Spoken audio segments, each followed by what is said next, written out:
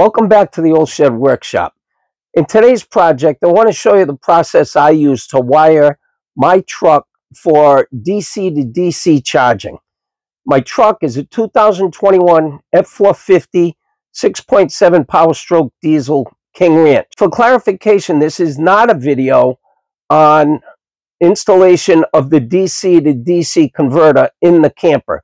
This is a video on how I wired the truck and cleaned up a couple of what I thought were loose ends just to neaten things up on the camper side. I'll show you all the pieces and parts I used in the process, and I'll include links to all those items below in the details.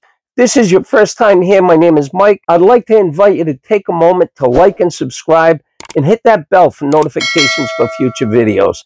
You guys that are watching my videos and spending some times and liking and subscribing have really helped me to grow my channel. So let me show you the pieces and parts. Seems like a good place to start. When I bought my camper, the previous owner had DC to DC charging hooked up in his truck. This is the Anderson plug that he used with 6 gauge wire. I think this plug was a little bit of overkill. This is rated 175 amps and 600 volts. I did quite a bit of reading and determined that this same Anderson plug, which is rated at 50 amps and 600 volts, is sufficient for 6 gauge wire. So this was overkill. I think this would have handled 4 gauge wire to maybe even 0 gauge. So these are the plugs that I bought. Anderson plugs. You can't make a mistake with these. They only go one way. They go gray to gray. There's red, yellow, blue, black, and gray. I understand the black will interchange with the gray, but the red, the blue, and the yellow are color specific. None of the colors can be mixed, so you can't make a mistake. Everything's marked positive and negative and they only go together one way. Each of the plugs comes with the pins. And on the pins, there's a side that has a high side, and there's a side that has a little hook. They go in one way. So as they go in, they hook onto the metal clip that's inside the connector. That comes with it. I bought these to mount in the camper and in the bulkhead of the truck. These are flush mounts for the Anderson connectors. This one will go right inside the bulkhead of the truck with the wires coming down and going up the frame to under the hood. In addition to that, I bought these covers so that when everything is mounted, I can close the cover and keep everything protected from the weather. In addition to that, under the hood, I bought these six gauge, 3 8 inch ring connectors to go to the poles on the battery. And I'll show you how I did that when I get up under the hood. These come with the shrink tubing. And this shrink tubing has an adhesive inside it. So it also seals it with the adhesive. They come with red and black for the positive and negative. I bought 30 feet of brand new six gauge wire, red and black. In order to run it up, I bought one inch wire loom. This came in 50 feet. The wire I was able to buy in 30 feet. With six gauge wire, you'll have such limited line loss over 25 feet that it's negligible. This is what I have left over. I've got about five or six feet left over. You need a good set of cutters for a heavy duty wire. These come in very handy. I'll put a link to these below as well. I had to drill a hole along a couple of places under the truck and a cross member that's a lighter gauge steel than the frame steel. This is the largest one in the package that I bought. Hole, you drill a quarter inch hole, you put the Christmas tree in. Then the cable tie comes around, goes through, and locks. And then you can cut it off like a regular wire tie. This came in invaluable. Going up along the frame, there were places that I couldn't tie this off along another existing harness, so I had to find a place to run it. This made things much easier because I could mount the the wire loom where I wanted it to be. In order to make all the crimps, I bought this hydraulic crimper. This is your friend. This was only about $40 on Amazon.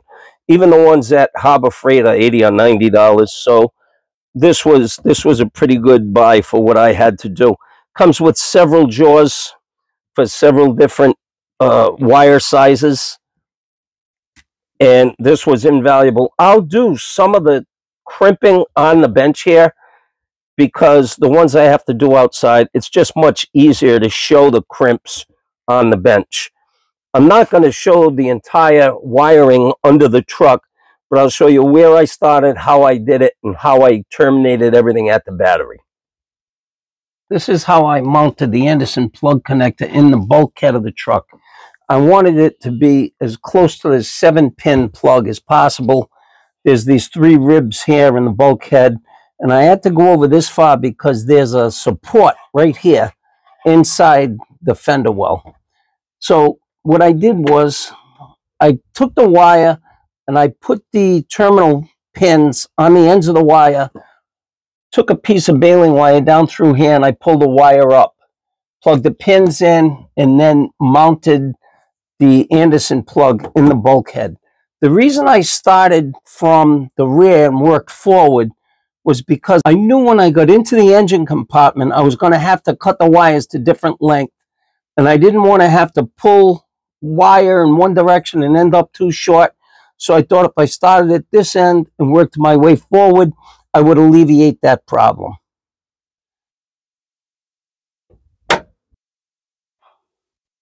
Here's where the wires come through the bulkhead and down along the inside of the fender. come down to here. A couple of places here where I could use regular wire ties right through this cross member. And I started to follow it up along the frame. You can see here where I used one of those push mount zip ties and then was able to continue to follow another harness further up beside the frame.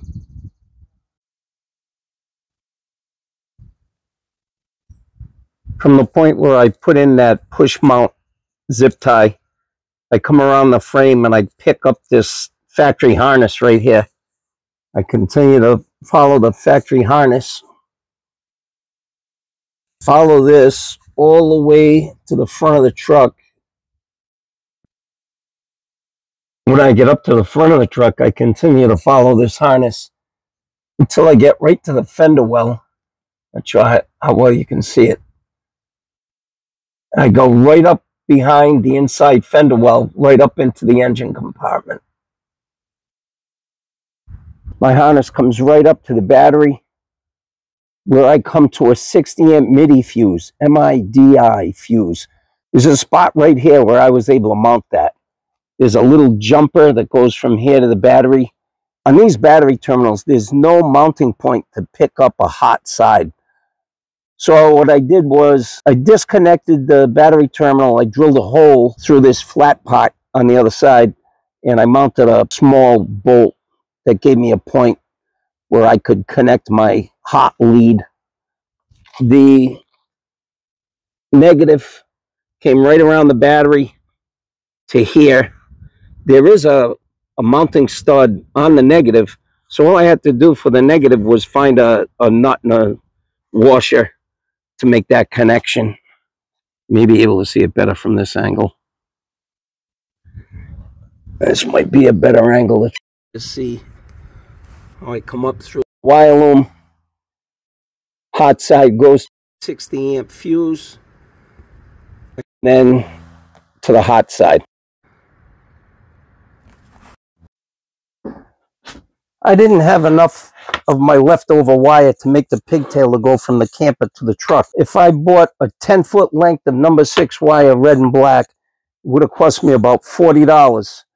The alternative to that is Harbor Freight, a pair of number six wire jumper cables, 16 feet, $18.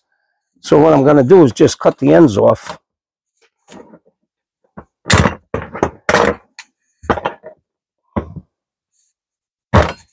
And then I'll cut this 16 footer in half. And this is going to be my pigtail to go from the camper to the bed of the truck. Before I start crimping the terminal ends on, I want to run the wire into the wire loom. To do that, I just put the ends of the wire in, in a box wrench, put it into the wire loom, and you can just pull the wire right into the loom.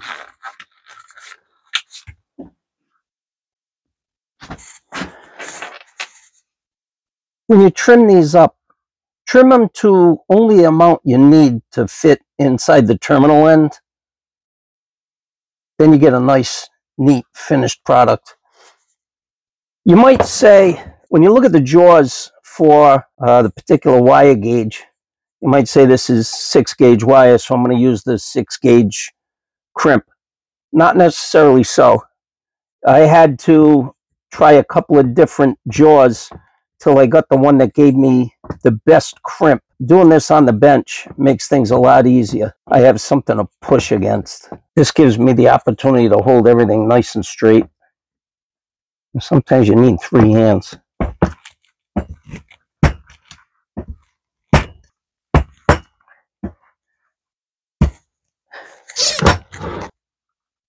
That's a nice crimp. That's not coming off. And I already put my shrink tube on instead of trying to get it on everything afterwards. And remember, these only go in one way. So you want to have the terminal ends both going in the same orientation. And you want the, the high side up and the hook side down because these are going to click into the metal piece that's inside the, the connector.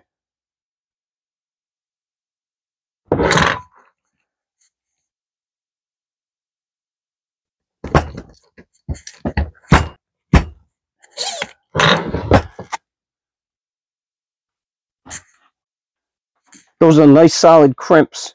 Give them a good tug. Make sure they're on there good because once they're in, they're in. I'm just going to heat shrink them to get a good solid seal and plug them into the connector. This is what I wanted to clean up a little bit. When this installation was done, it was done using 6 gauge wire. So I'm going to use the existing wire and just take off this huge plug. So let's cut these. Then I have enough room near my water tank and I have an access door. I'm going to pull these through. Now I'm going to pop out these grommets and mark up the position to mount the new plug. I have the terminal ends on the wires now.